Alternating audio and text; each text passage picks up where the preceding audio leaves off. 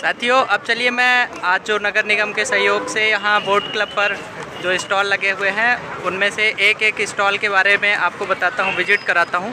सबसे पहले ये जो हमारा स्टॉल लगा हुआ था, ये सीट बॉल का, ये मैंने आपको दिखाई दिया था। तो ये आप देख सकते हैं कि ये सीट बॉल का पूरा स्टॉल लगा हुआ है। और इसके बगल में जो स्टॉल लगा हुआ है उनसे मैं आपको मिलवाता हूँ। मैम हमारे दर्शकों को हमारे व्यूअर्स को हेलो बोलिए आप सबसे पहले।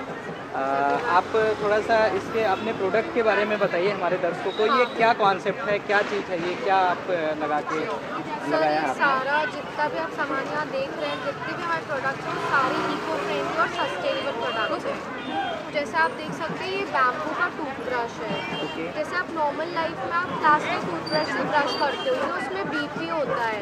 okay. ए जो प्लास्टिक का बहुत हार्मफुल केमिकल होता है उसमें टिप किया जाता है वो ब्रश okay. वो आपके लिए हार्मफुल है। इसलिए ये ब्रश बीपी फ्री है बैम्बू का है। इसके ब्रिसल्स चारकोल इन्फ्यूज है और प्लांट फाइबर का बना हुआ है। पूरा नेचुरल ब्रश है। आप यहाँ पे देख सकते हैं हमारे पास प्योर नीम की लकड़ी की कोम्स भी हैं। ओके हाँ, तो इसके बेनिफिट थोड़ा सा बताइए मैम क्या रहता है इसका?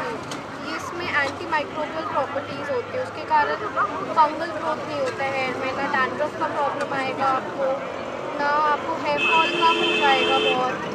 फ्रिजी हेयर्स के लिए बहुत अच्छा है। आप यहाँ देख सकते हैं हमारे पास नीम के ब्रश हैं टंग क्लीनर है नीम का। ओके मार्केट में आपको तो ये ये जो ब्रश है ये क्या ये इसकी लकड़ी पूरी ये नीम से बनी हुई है? जी ये प्योर नीम ओके। आप अगर